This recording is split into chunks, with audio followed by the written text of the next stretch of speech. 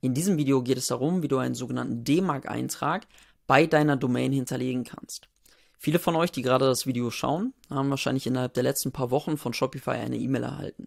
In der E-Mail bittet dich Shopify darum, einen solchen D-Mark-Eintrag bei deinem Domain-Host zu hinterlegen. Wenn du dich auch fragst, wie das Ganze geht, dann bist du in dem Video auf jeden Fall genau richtig. Denn ich erkläre dir in vier ganz einfachen Schritten, wie du jetzt vorgehen musst, um dieses Problem zu lösen. Starten wir aber erstmal damit, warum das überhaupt so ein großes Problem ist und warum du das auch unbedingt zeitnah lösen solltest. Ab dem 1. Februar 2024 musst du bei Gmail und Yahoo deine Domain authentifizieren und über einen solchen D-Mark-Eintrag verfügen, den wir im Rahmen von diesem Video bei deiner Domain hinterlegen werden. Denn nur wenn du das machst, dann kannst du auch weiterhin E-Mails von einer deiner Marken-E-Mail-Adressen an Kunden versenden. Im konkreten Fall von Shopify heißt das, dass alle Bestellbestätigungen, Versandbestätigungen etc., also alle transaktionalen E-Mails, die Shopify für dich verschickt, eigentlich über deine E-Mail-Adresse, ja, die werden dann nicht mehr über diese E-Mail-Adresse verschickt, sondern über eine no-reply at shopify-email.com Adresse. Und das ist natürlich der Worst Case, weil vorher ist alles super professionell gelaufen, es wurde über deine Marken-E-Mail-Adresse verschickt aber wenn du jetzt eben diesen D-Mark-Eintrag nicht machen würdest, dann würde Shopify einfach hingehen und aus Sicherheitsgründen einfach auf die andere E-Mail-Adresse umstellen. Dann kriegt jeder von deinen Kunden einfach von der E-Mail-Adresse noreply at shopifyemail.com alle transaktionalen E-Mails.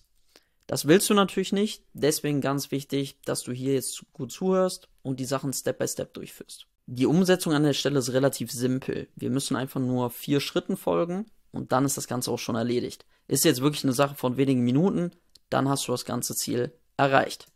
Zuallererst gehen wir hin und nutzen einen sogenannten D-Mark-Checker, um zu gucken, ob vielleicht sogar schon mal ein D-Mark-Eintrag bei dir hinterlegt worden ist.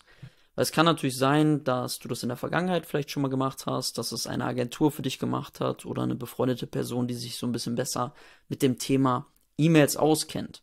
Das mag sein, deswegen checken wir am Anfang erstmal, ob vielleicht so ein Eintrag schon hinterlegt ist. Nur wenn nicht, dann müssen wir den Step 2 machen. Erstmal deine Domain authentifizieren. In Step 3 dann deinen D-Mark-Eintrag hinzufügen. Und in Step 4 dann über den D-Mark-Checker nochmal prüfen, dass auch alles sauber funktioniert hat. Bevor du anfängst, stell aber auf jeden Fall sicher, dass dein Shop einen aktiven bezahlten Plan nutzt. Weil bei Development Stores und auch bei Shops, die noch in diesem Pause and Build Plan sind, da können keine CNAME-Einträge hinzugefügt werden. Und diese CNAME-Einträge, die müssen wir eben gleich im Authentifizierungsstep einfügen. Also wenn das bei dir nicht der Fall ist und du kannst das nicht machen, dann liegt es daran, dass du sehr wahrscheinlich noch einen Development Store nutzt oder dass du in diesem Pause and Build Plan drin bist. Starten wir erstmal mit Schritt 1 und prüfen über den D-Mark-Checker, ob du vielleicht sogar schon einen D-Mark-Eintrag hinterlegt hast. Dafür springen wir einmal rüber in den Browser. Zum Glück gibt es heutzutage für alles Mögliche ein Tool. Auch für das Thema D-Mark-Einträge gibt es natürlich einen Checker, der kostenlos online existiert. Den Link dazu packe ich dir einfach unten in die Beschreibung. Du scrollst ja dann nach unten und fügst hier deine Domain ein.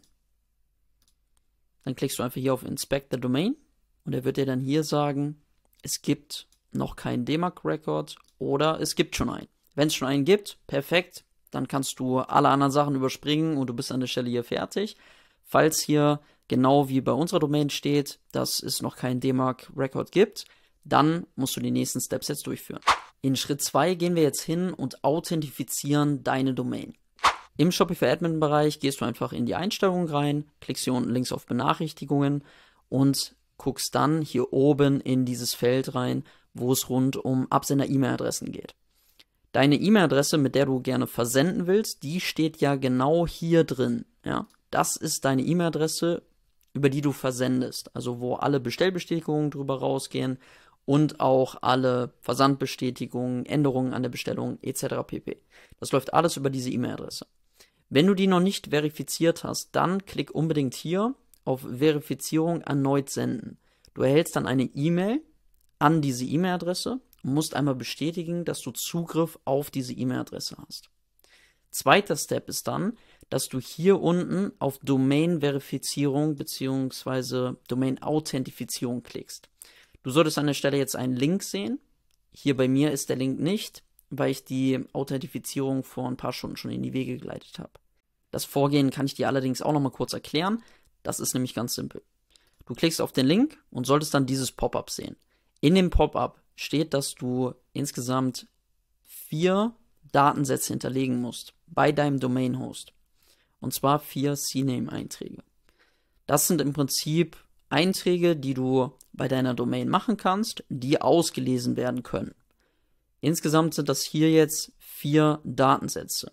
Wir würden jetzt hingehen und gehen zum Beispiel zu Ionos, du bist vielleicht aber auch bei GoDaddy oder hast deine Domain auch bei Google, wo auch immer. Du musst einfach nach DNS-Einstellungen suchen.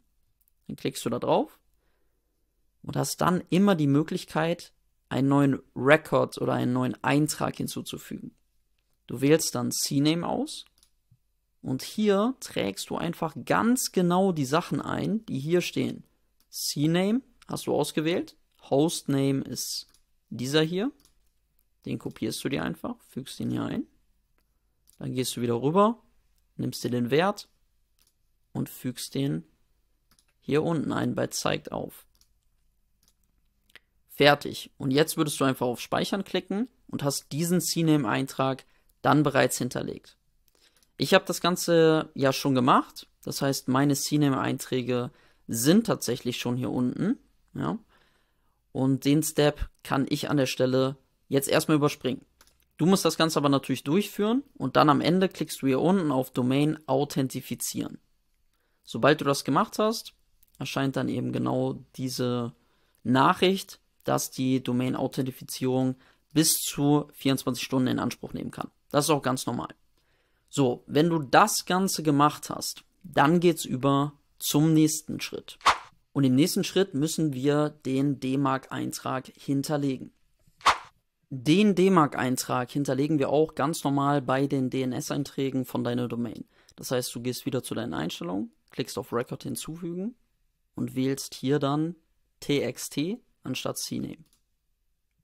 Unter Hostname trägst du dann Unterstrich D-Mark ein. Wichtig ist, dass du darauf achtest, dass hier in der Vorschau direkt schon D-Mark Punkt und dann deine Domain steht. Manche Domain-Hosts, wie zum Beispiel Ionos hier, machen das schon vollautomatisch. Das heißt, das wird automatisch hier hinten dran gehangen, ohne dass du es hier oben eintragen musst. Wenn das bei dir nicht der Fall ist, dann bitte unbedingt auch Punkt und dann deine Domain hier oben mit eintragen. Unter Wert fügst du dann folgende Sachen ein. Die packe ich dir aber allerdings auch nochmal unten in die Beschreibung mit rein. Das brauchst du jetzt nicht eins zu eins abzutippen, sondern stopp einfach kurz das Video, geh in die Beschreibung und kopiere dir das Ganze daraus. Und zwar fügst du ein v gleich d-mark 1. Das muss jeder einfügen. Das ist äh, verpflichtend. Dann ein Semikolon, p gleich non. Wieder ein Semikolon, dann RUA gleich mail to Doppelpunkt und dann trägst du eine E-Mail-Adresse ein, an die sogenannte D-Mark-Berichte geschickt werden sollen. Wenn du das gemacht hast, dann klickst du einfach hier auf Speichern und hast hier dann hoffentlich stehen, dass das Ganze erfolgreich angelegt worden ist. Im letzten Schritt gehen wir dann jetzt hin, nehmen uns wieder die Domain und machen einen komplett neuen Test. Also hier wieder einfügen, Inspect the Domain und dann sehen wir, es hat funktioniert. Wenn das Ganze bei dir nicht funktioniert hat, dann geh natürlich nochmal die ganzen Steps durch, guck, ob du die Einträge sauber gemacht hast.